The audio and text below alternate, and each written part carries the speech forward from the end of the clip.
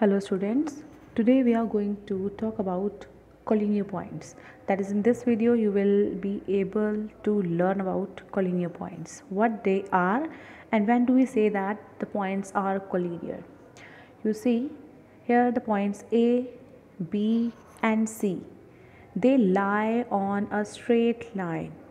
So in this case you can say that the points A, B and C they are collinear and if you look at the word collinear it is made up of two different words that is col it means together and linear means same line. So collinear means points together on a line.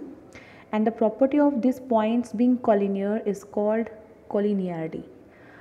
By this we can say that there is only one line that is possible through the points which are collinear. Next Let's talk about non-collinear points.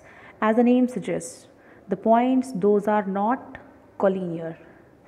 Now if you have a look on this figure, there are various points but out of those points, the points A, B and C, they are on the same straight line. They are collinear points. But if I take the points D, E and F also into consideration, then they are not lying on this line.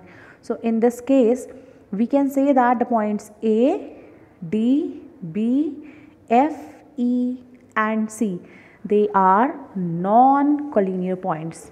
So we can say that three or more points that do not lie on the same line that is same straight line they are non-collinear points.